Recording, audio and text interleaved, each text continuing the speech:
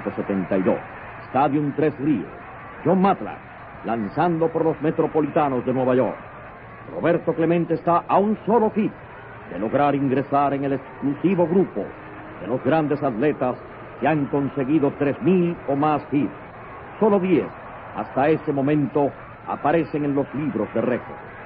Roberto sería el undécimo y además el primer latino. WIAC se transmitía el evento para todo Puerto Rico en las voces de Carlos de Jesús y el internacional narrador Felo Ramírez. Su turno anterior fue ponchado con una recta velocísima del zurdo John Matlack.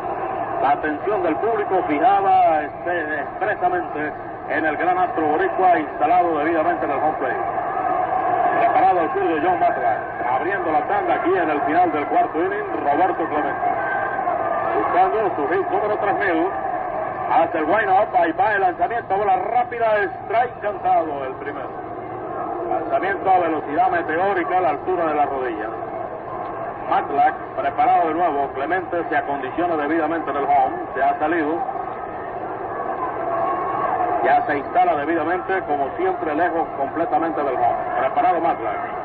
Hace el wind up, ahí va el lanzamiento, le tira y ahí va una línea tremenda. Entre Messi César, la bola pica, va a dar contra la pared.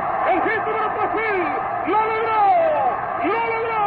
Un doble de Roberto Clemente contra la pared de los César, como él lo quería, limpio completamente.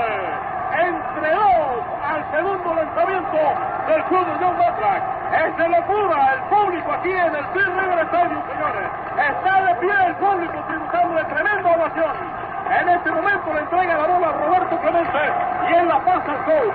Roberto se quita la gorra, saluda al público y recibe la felicitación del shortstop Jim Fregosi en un acto de forma Jim supremo, extraordinario de Jim Fregosi.